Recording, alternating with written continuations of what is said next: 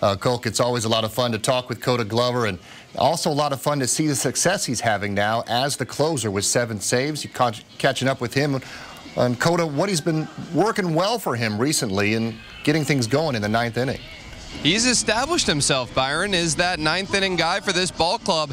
Since he came back off the disabled list, it's been the Koda Glover that we saw down the stretch last season when he really opened some eyes among Nationals fans, among Nationals talent evaluators. Check out these numbers for Koda. Nine games back off the DL. Locked down every save opportunity that he's had. Eight and two-thirds innings. Check out the base runners allowed. 31 guys he's faced, he's retired 26 of them, and that strikeout to walk ratio just ridiculous. That's exactly what you want to see from your ninth inning guy.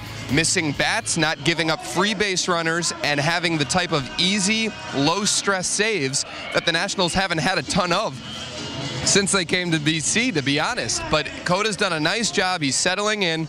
And uh, we talked to him after the game last night. He feels that things have been going pretty well for him, and he's getting used to the grind of the major league schedule.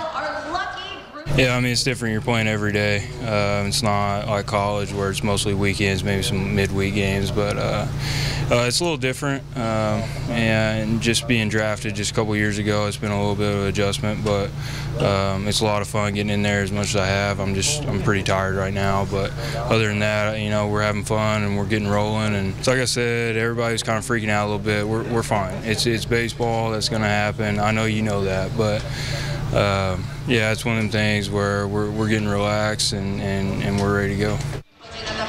Now, Koda was a dominant player in college, but it's a different animal when you get to the professional side of, of baseball. Koda did not have to go four times in five days when he was in college. That's the type of work schedule that he'll have to deal with when he's a closer as a professional. So is he available today? Not entirely sure. You would think that Dusty Baker would ideally like to give Koda a day off after he did work for the last five days. Koda admitting that it's a schedule that he's going to have to continue to adjust to, but he has been incredibly effective. Even last night when he was a little tired, as he admitted, Byron, locked it down, dominating fashion, striking out Buster Posey to end the game. The Nationals love what they've gotten from Koda Glover since he came back off the DL.